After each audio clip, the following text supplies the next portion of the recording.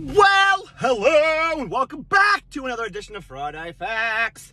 My name's Angelo Datseris, aka CLT Mortgage Guy, President CEO of Leverage Lending Group.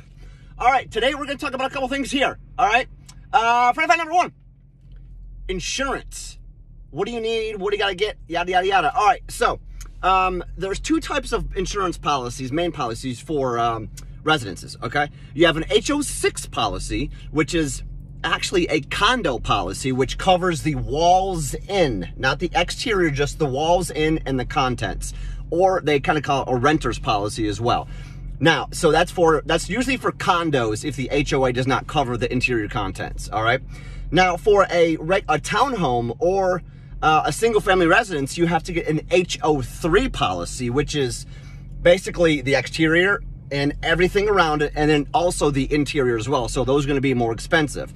Now, with an HO3 policy, it got it has to cover at least the loan amount, and if it does not cover the loan amount, it's um, you can get a guaranteed replacement cost estimator to see what uh, the cost is to rebuild. So um, yeah, so that's what you need for insurance for either condos or um, single family residences. Now, funny fact number two: Did you know that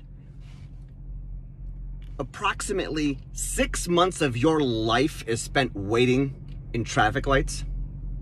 I'm waiting for one right now. I've been waiting. This light will be the death of me. It really will. Literally still waiting. I did this whole thing, still waiting. Oh, now I can go. Okay. Hope you enjoyed. Find me, follow Jeremy. Take care.